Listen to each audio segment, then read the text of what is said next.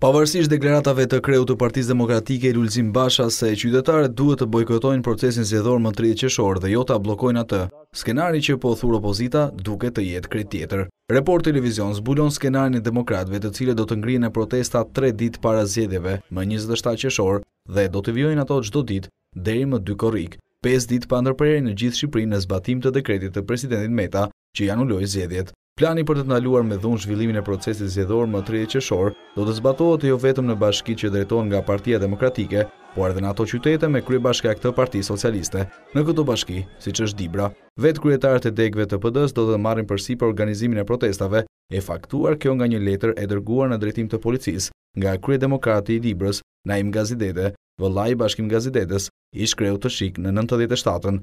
Partia Demokratike, Dibër, së bashku me Aleancën Qytetare për Mbrojtjen e Demokracisë, ju bën me dije se nga data 27 qershor deri më 2 korrik organizon protesta në të gjithë rrethin e Dibrës, për mbrojtjen e dekretit të presidentit për shfuqizimin e tridhjetë qershorit. Plani i bërë publik që më njëzet e një qershor i të gjithë bashkive të djathta është i tillë. Të gjithë kryebashkiakët do të shfrytëzojnë punonjësit e qeverisjes vendore, përfshirë edhe policinë bashkiake, për të mos lejuar hapjen e qendrave të votimit të dielën në orën shtatë të mëngjesit. Po ashtu do të bllokohen KZAZ-të dhe qendrat e grupeve të numërimit, deri në asgjësim të materialeve zgjedhore. Këto bashki kanë në plan që nga data njëzet e nëntë qershor, e cila është heshtje zgjedhore, deri më tridhjetë qershor, pra ditën e zgjedhjeve, në ambientet ku qytetarët do të shkojnë për të votuar, të bëjnë aktivitete të ndryshme kulturore, artistike dhe letrare, siç kryebashkiakët shprehen, duke lajmëruar se në këto ambiente do të mbahen tubime protesta kundër këtij procesi zgjedhor që për ta është farsë. Kjo theksohet në shkresën që të gjithë kryebashkiakët e PD-së i kanë dërguar Komisionit Qendror të Zgjedhjeve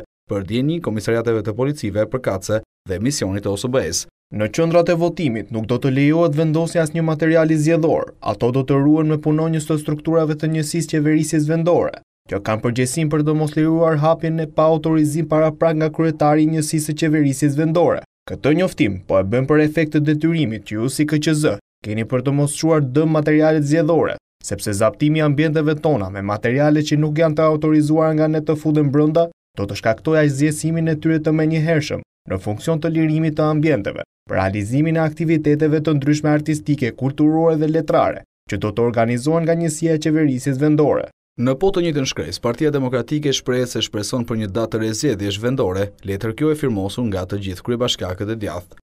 Duke ju uruar sukses në punën tuaj, për organizimin e zgjedhjeve në datën e re që do të dekretohet nga Presidenti i Republikës, në përputhje me kompetencën e tij kushtetuese, Të sanksionuar në nenin 92 pika gj të kushtetutës, gjejmë rastin t'ju garantojmë që sapo kjo të ndodhë do të gjeni të gjithë bashkëpunimin tonë institucional për përmbushjen e përbashkët të përgjegjësive sipas ligjit. Sipas tyre, dekreti i presidentit Meta është i vetmi akt që ka fuqi ligjore, për sa kohë nuk ka dalë asnjë akt tjetër siç ata thonë që e ka shfuqizuar dekretin, tashmë të botuar edhe në fletoren zyrtare.